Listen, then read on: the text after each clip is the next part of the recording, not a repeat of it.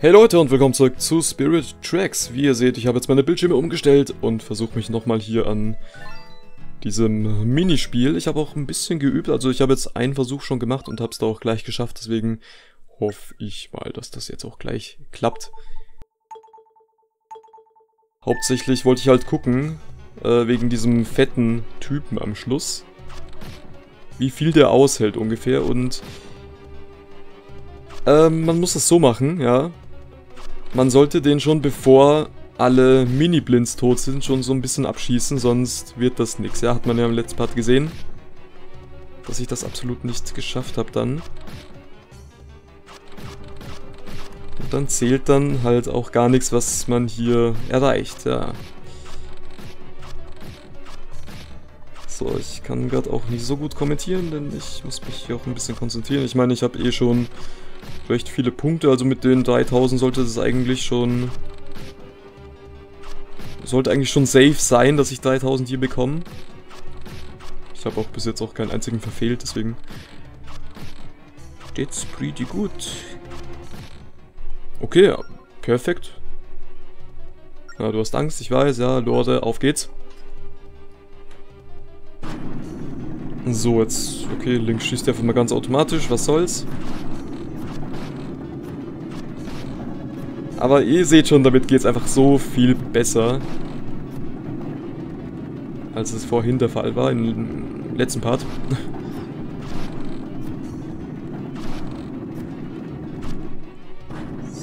So, okay, das hat leider nicht mehr getroffen. Was soll's?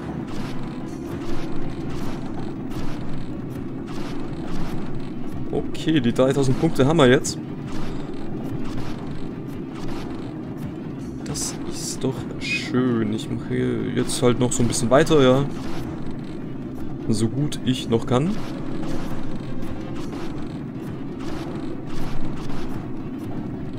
Dann haben wir das hoffentlich gleich hinter uns. Ah, wenn ich jetzt wieder bei dem Fetten sterbe, oh mein Gott, ich hoffe nicht, ne? So, hier so ein bisschen schon abballern. Dann die Kleinen hier, dann den wieder so ein bisschen, okay.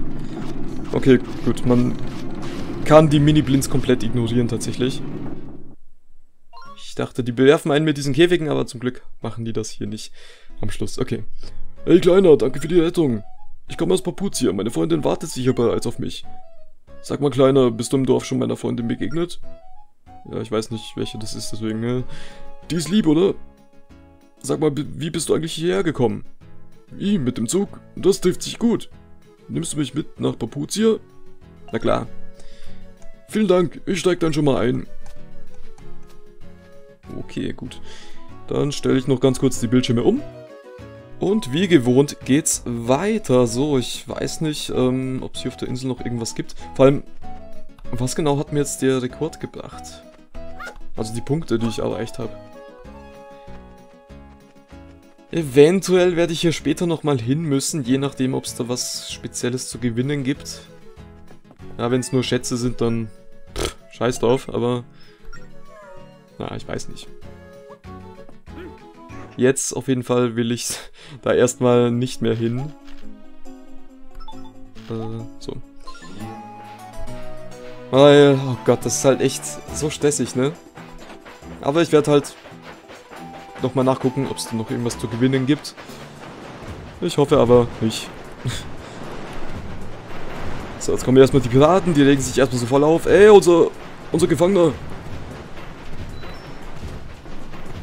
aber die kriegen mich nicht.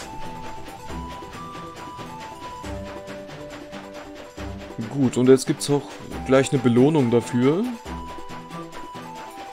Ich hoffe, dass es das ist, was ich glaube, weil wenn nicht, dann muss ich eventuell doch nochmal zurück zu dem Schießminispiel.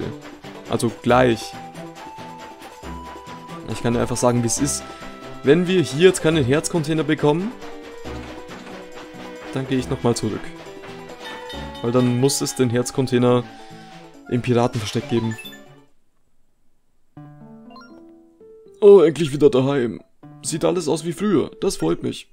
Und ich dachte schon, ich kehre nie wieder zurück. Diese Piraten. Du hast mich gerettet, vielen Dank. Forstkristall, okay. Ist das alles? Nimm dies als kleines Dankeschön. Okay, neue Strecken. Äh, jo. Ja, so ein paar Abkürzungen. Na dann, ich gehe gleich einmal zu meiner Freundin. Die wird Augen machen. Bis dann und nochmals danke. Also kriege ich hier keinen Herzcontainer. Oh, Moment. Wie? Da bist du ja wieder. All die Zeit, aber du bist noch so schön wie früher. Ihr Gesicht ist ein bisschen sehr breit. Was sagst du da? Meine Gefangenschaft bei den Piraten war schrecklich. Jeden Tag Wasser und Brot. Wenigstens irgendwas, ne? Dieser kleine Held hier hat mich gerettet. Ach so, und warum kommst du dann zu mir? Äh, was, was sagst du denn da? Was fällt dir ein, nach all der Zeit plötzlich wieder bei mir aufzutauchen? Zwischen uns ist es schon lange aus. Und jetzt lass mich in Frieden. Du bist aber fies. Einfach durch Zelda durchgegangen. Er, tu, er tut mir wirklich leid, Link. Wir hätten ihn nicht mit hierher bringen sollen. Ja, pff. Hätte man ihm einfach im Piratenversteck lassen sollen. Hey, hör mal, ja, was denn? Ich vertraue der Alten. Sie hat mir ge geraten, mich bald zu verloben. Kannst du mir da helfen? soll ihr wahrscheinlich einen Typen bringen, ne? Wirklich? Dann bring ihn nur schnell her. Ich warte auf ihn. Also mein Typ ist ein Mann mit Bart und großer Nase. Und männlich sollte er sein. Ist das zu viel verlangt? Hm. Ich hab da schon was im Kopf. So, was mit dir jetzt los? Sie scheint auf der Suche nach einem neuen Freund zu sein. Voll die Fort. Aber was kümmert mich das noch? Oh Mann. Der arme Typ. Naja, ich meine, so hübsch ist jetzt eh nicht, finde ich. Aber, ähm, Leute, so wie es aussieht, muss ich schon nochmal zurück äh, zum Piratenversteck. Dann weiß ich jetzt immerhin, was es da zu gewinnen gibt mit den Punkten. Nämlich den Herzcontainer.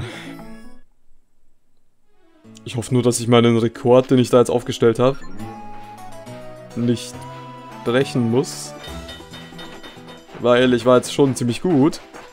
Wenn nicht sogar fast perfekt. Ja, es war wirklich fast perfekt. Ich habe eigentlich keinen einzigen verfehlt. Ich habe am Schluss ein paar Mini-Blinds ausgelassen, ja, aber sonst... Es könnte schwer werden. Es sei denn, der Rekord wurde jetzt nicht gespeichert. Weil es da nur darum ging, den Typen zu retten. Ich hoffe mal, dass es so ist. Wäre sonst echt kacke, wenn nicht. Ja. Ich bete zu... Na, ich bin Atheist, deswegen... Ist es eigentlich nicht so mein Ding, aber... Ich habe Hoffnung, dass der Rekord einfach immer noch auf 3000 ist und ich einfach nur den da brechen muss. Wäre echt nice. Aber natürlich erstmal wieder die Bildschirme umstellen. Gut, auf geht's. Ähm ist das jetzt... Was ist mit dir? Mein Freund wurde vom Piraten entführt. Okay, ich habe mich gerade gefragt, ob wir da jetzt nochmal wen retten müssen und damit wurde die Frage ja beantwortet. Ich bin ihnen gefolgt, aber jetzt habe ich Angst bekommen. Bitte hilf ihm. Okay. Oh, wirklich? Nun, die Piraten sind in der Höhle. Es dürften einige sein, besiege so viele wie du kannst. Wenn du erfolgreich bist, werde ich dich belohnen. Hilfe. Okay, das ist jetzt so ein Koronenboy. So, zeig mal Rekord her. Ist da jetzt immer noch 3000? Nee, scheiße. Okay, dann muss ich mich sehr, sehr, sehr anstrengen. Falls ich den überhaupt jetzt überbieten muss. Ich hoffe es wirklich nicht, ne? Ja, ich habe jetzt eigentlich schon verkackt, wenn ich den überbieten muss. Oh Gott, okay, warte. Ich sollte ein bisschen weniger quatschen. Weil da kann man sich nicht so krass konzentrieren.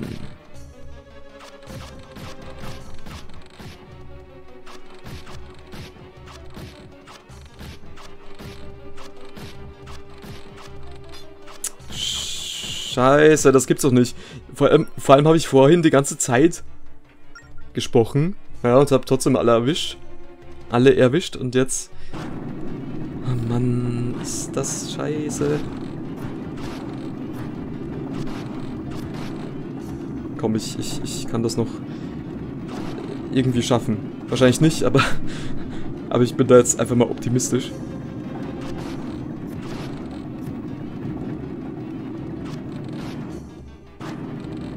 Hör auf, immer diese Pfeile automatisch zu verschießen, wenn ein neuer ja, ein neuer Teil kommt von dieser Höhle hier.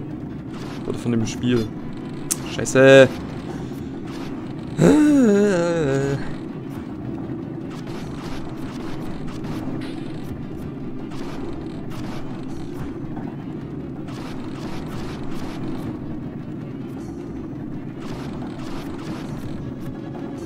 Also 3000 haben wir jetzt, aber...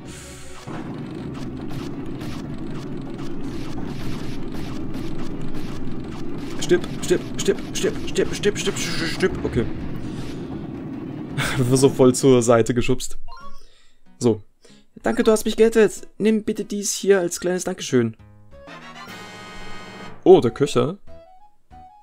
Ey, Moment mal, was? Damit kannst du mir Pfeile sagen. Ja, okay. Ich kann doch auf dich zählen, falls ich wieder verschleppt werde, oder? Das ist interessant. Ah, wisst ihr was? Moment, ich muss mal kurz was gucken.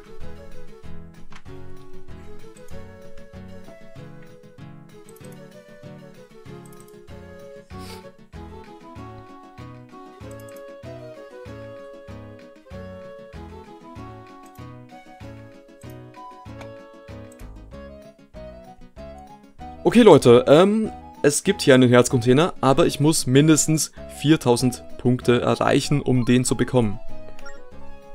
Ja, das heißt, ähm, hoffentlich nur noch einmal spielen.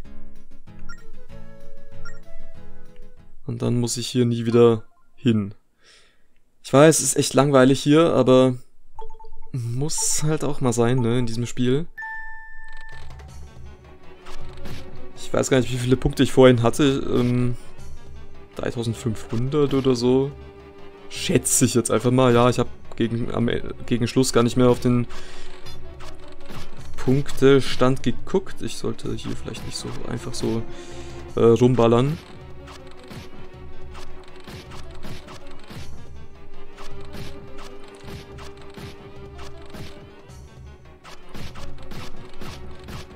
Ich hätte einfach fast daneben geschossen, obwohl die einfach nur in dieser Reihe stehen. Concentration ist angesagt. Wie immer halt. Die kommen aber auch manchmal in anderen Formationen, ne? Weil vorhin, beim letzten Versuch, waren ja nicht, äh, war das ja nicht, dass die sich zweimal so aufgestellt haben. In dieser Reihe. Und er verschiebt wieder automatisch einen Pfeil, das heißt, Ah, das heißt, der, der Streak, sage ich jetzt mal, wird wieder resettet. Das ist ganz schön nervig. Das heißt, ich muss eigentlich im Prinzip wissen, wann ein neuer Teil kommt. Okay, jetzt habe ich mal nicht gedrückt gehalten. Dann, das heißt, er verschießt hier nicht automatisch einen Pfeil. Shit. Oh Mann, ich habe halt noch nicht mal 3000.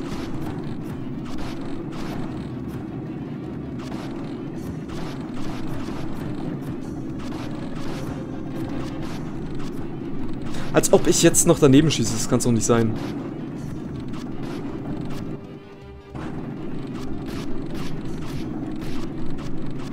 Okay, warte, ja, der bringt auch noch Punkte. Ja, okay, wir haben die 4000. Puh, ich dachte schon, ey dachte schon, ich hätte verkackt. Ja, danke, du hast mich wieder gesaved.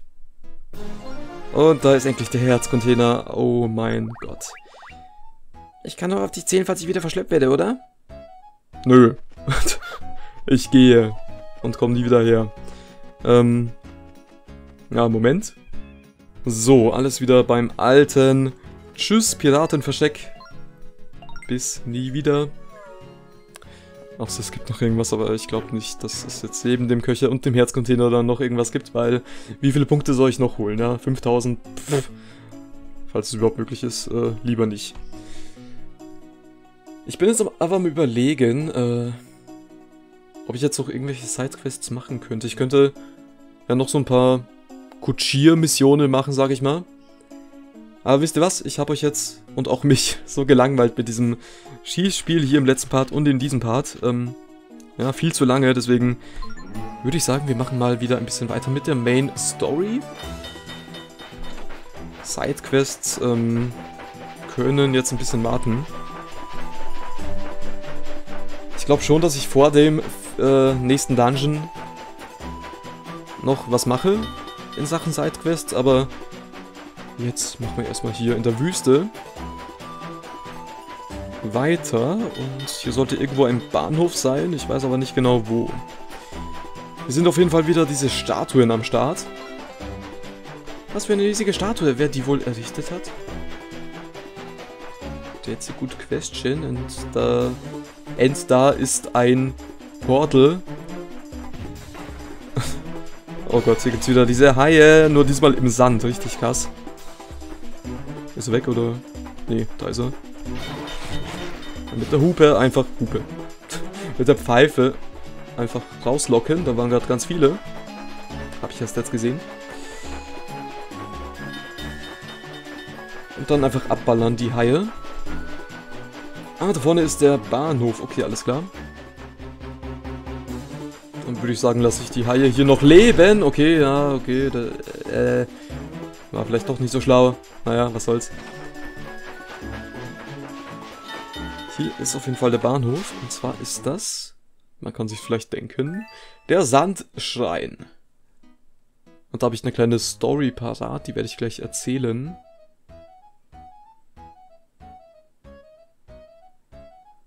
Na, erstmal hier so rumgucken.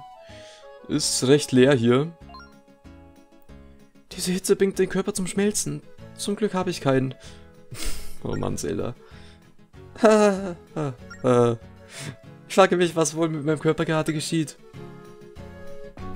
Ja, ich hoffe keine unanständigen Sachen. Ich hoffe einfach mal, dass äh, Gleis und äh, Marado nicht pädophil sind.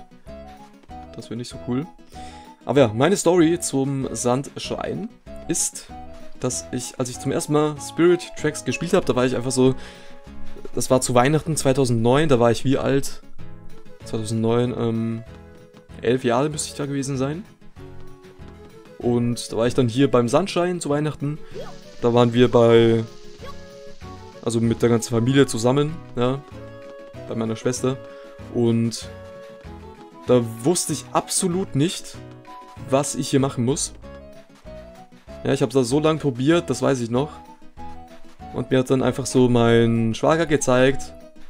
So ganz easy, ja, so geht das hier, zack, fertig. Und ja.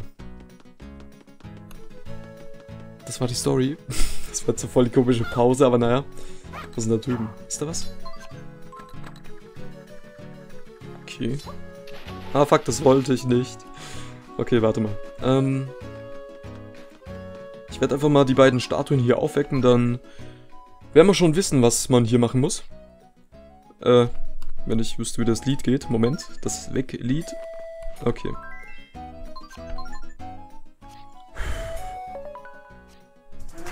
Zwei Statuen gibt's und beide werden wahrscheinlich, denke ich mal, unterschiedliche Tipps haben.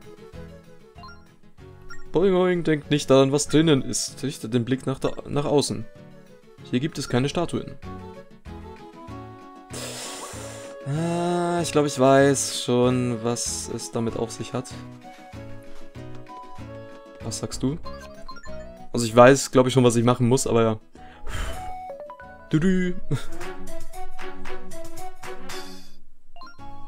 Das Weglied. Ein Teich ähnelt dem Meer, ein Weg ähnelt, ähnelt Schienen. Okay, ja, das hat meine Theorie nur unterstützt, was man hier machen muss. Nämlich, äh, guckt euch mal die Karte an von dem Sunshine hier. Und jetzt von der Wüste. Das ist nämlich identisch, ja. Wie es halt schon die Statue hier gesagt hat, der Weg sind die Schienen und äh, das Wasser hier unten, das Meer. Ich frage mich trotzdem, was äh, da drüben ist und wie man da vor allem drüber äh, rüberkommen soll. Da ist der Stempel. Aber wie komme ich denn bloß dahin? Ich meine, mir ist kein Item bekannt, mit dem man über Wasser laufen kann oder so. Also wie zum Teufel soll das hier gehen?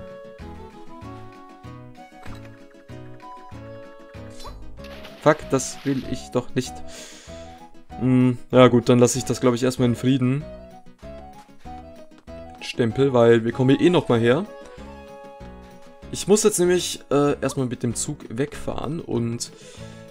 Ja, man kann sich denken, diese riesigen Statuen, von denen die Blicke, wo die hingehen, einzeichnen, schätze ich mal.